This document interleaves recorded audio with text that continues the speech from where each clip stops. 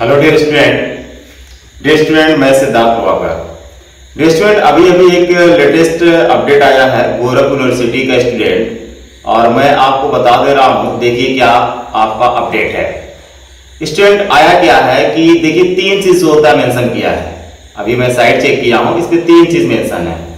एक तो मेंशन है स्टूडेंट कि रेट का जो एंट्रेंस एग्ज़ाम हुआ था उसका जो होता है कि रिज़ल्ट आ चुका है स्टूडेंट यानी कि रेट क्या था आपका? रिसर्च से होता है एलिजिबिलिटी टेस्ट होता है। पीएचडी के लिए रेट जो होता है एंट्रेंस एग्ज़ाम यूनिवर्सिटी कराती है।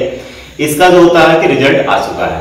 दूसरी बात क्या है स्टूडेंट कि जो आपका जो होता है कि बीपीएड था बीपीएड ठीक है?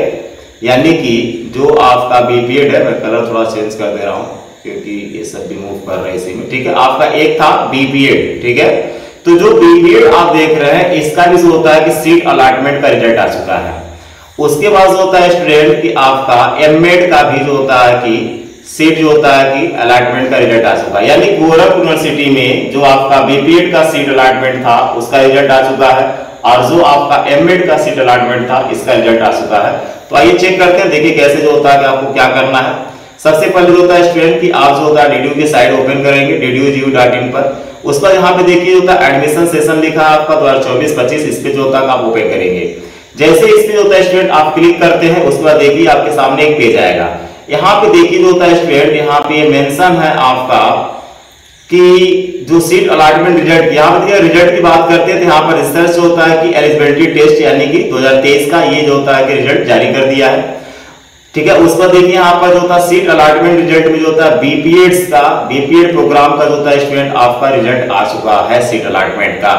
उसके बाद होता है कि एमएड प्रोग्राम जो थे स्टूडेंट इसका भी जो होता है सीट अलॉटमेंट आ चुका है। जो आपका जो होता है कि पीजी डिप्लोमा था, इसका भी जो होता है आपका सीट अलॉटमेंट रिज़ल्ट आ चुका है। ठीक है? यानी कि सीट अलॉटमेंट रिज़ल्ट जो होता है स्टूडेंट आपका बीपीएड्स का और एमएड का जो होता है प्लस आपका डिप्लोमा कोर्सेज जो थे, इसका सीट अलॉटमेंट का रिज़ल्ट दे दिया। है यहाँ से होता है कि आप क्लिक करके चेक कर सकते हैं। क्लिक करके आप जैसे हमारे इस पे क्लिक करते हैं आप बीपीएड प्रोग्राम पे।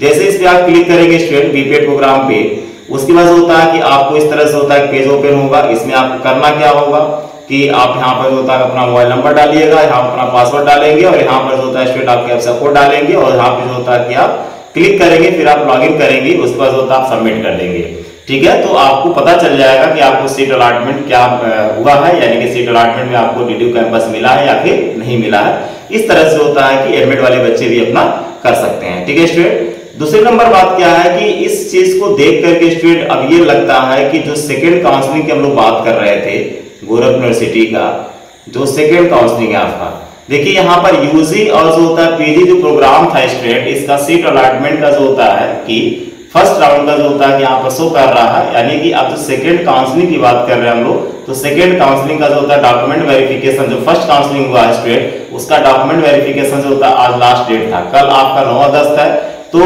आज रात में या फिर कल होता है दोपहर तक ये अपडेट कर देंगे, क्योंकि आज इन्हें डाटा मिल गया होगा कि कितने सीट बचे हैं, कितने सीट नहीं बचे नहीं बचे हैं, ठीक है? यानी कि जितने बच्चे डॉक्यूमेंट वेरिफिकेशन कराए होंगे मतलब जो होता है अपना सीट क्या किया कंफर्म कर लिया होगा बच्चा, ठीक है? तो आज होता है हर डिपार्टमेंट से नोटिस चला गया होगा एग्ज़ाम सेल्स के पास। कि कितने सीट जो होता है, किस डिपार्टमेंट में बचा हुआ है तो इसके बेस पे जो होता है स्टूडेंट अपना सेकंड काउंसलिंग कराएँगे, ठीक है? तो सेकंड काउंसलिंग के लिए मान के चलिए जो होता है, कल दोपहर तक अपडेट दे देंगे या फिर मॉर्निंग तक जो होता अपडेट दे सकते हैं। जैसे अपडेट आता मैं आपको अपडेट कर दूँगा। क्योंकि होता है कि अगर आप नए होंगे चैनल को सब्सक्राइब ज़रूर कर लीजिएगा। गोरखपुर यूनिवर्सिटी से रिलेटेड जो होता है, कि आपको हर अपडेट जो होता है मैं आपको देता रहता हूँ स्टूडेंट ठीक है? It's okay thank you so much और अगर आप टेलीग्राम चलाते होंगे तो टेलीग्राम से होता है स्टूडेंट सीड बायोलॉजी नाम से। सीड बायोलॉजी नाम से होता है स्टूडेंट आपको टेलीग्राम ग्रुप मिल जाएगा, इसको भी जो होता है कि आप ज्वाइन कर सकते हैं। It's okay student thank you so much